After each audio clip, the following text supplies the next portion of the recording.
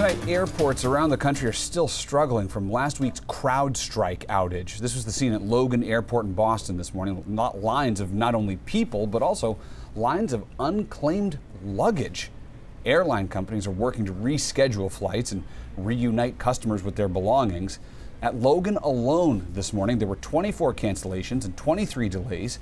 Travelers say they're not only exhausted, but are also upset by the lack of communication and help from airlines. All the hotel here a day was uh, 370. So I tried to ask if we were gonna get a refund. I don't have a complete answer. Other passengers did say they are getting some communication about how and where to reclaim their luggage.